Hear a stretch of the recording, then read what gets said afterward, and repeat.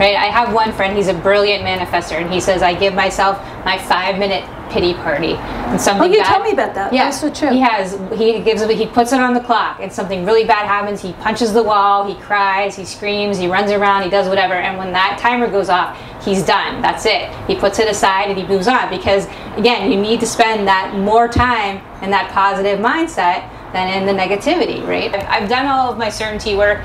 I've, I've created it in my mind. It's lived in my imagination. I've connected to it emotionally, right? And there is nothing else for me to do except the things that I can do to control the situation in front of me, the things that I can physically do, right? I can make phone calls, I can follow up, I can get things straightened out. But other than that, it's really just about who shows up here and and how it goes down. And I went out and I bought a receiving blanket, right? That you get that you wrap your baby in when you get them.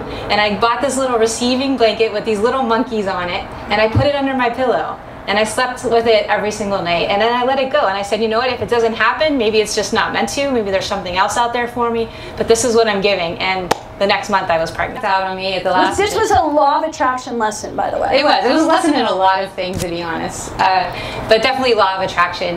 It- I think I just never gave up on the idea that this was going to happen. Right? I had, again, I had one date. There was. It wasn't this whole idea of well, if it doesn't happen this time, maybe it could happen a few weeks from now. Or if it doesn't happen this month, it could happen next month. Because I feel like we do that a lot, right? We kind of give our, we let ourselves off the hook by saying, okay, well, it didn't happen now, or it's not going to happen now, but it could, it could happen later, or, or maybe when things are a little bit different. I was like, no, this is going to happen now because I had Patti, I had her attention, I had a lot of momentum behind me, which is I think is something you can't discount, right? When you've got the momentum behind you, you've got to ride with it because it goes away so quickly.